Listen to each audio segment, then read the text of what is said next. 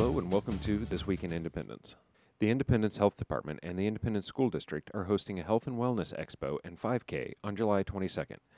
The event will be held at William Chrisman High School starting at 9 a.m. If you want to run the 5K, you need to register by July 17th in order to be chip timed. The expo is a community event that is open to the public and will have many free health services as well as entertainment and giveaways. For more information, call 816 521 5315.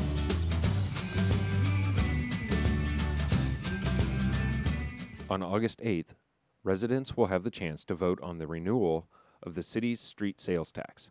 This is not a new tax and has been part of the city's budget since 1998 when it was first approved. The street sales tax is the primary source of funding for the city's street maintenance efforts.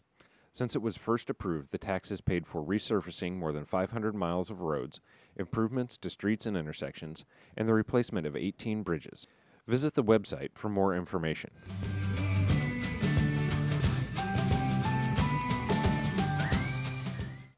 Farmers Market Appreciation Day will be August 12th from 9 a.m. to 11 a.m.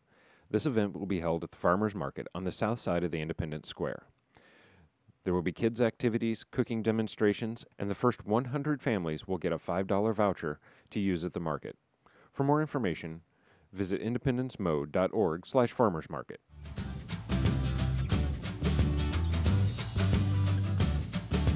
The Independence Health Department is hosting a family-friendly bike ride on August 3rd.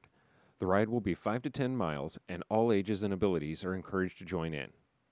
Just bring your bike and a helmet to Peddler's Bicycle Shop on the square at 6:30 p.m. This is a free event for the community.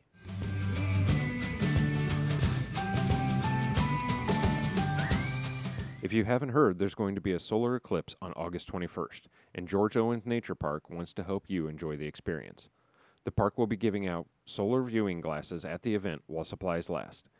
You can grab lunch from a local food truck, learn about and watch the eclipse.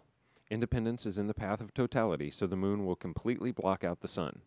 For more information about viewing the eclipse at George Owens, call 816 325 7115.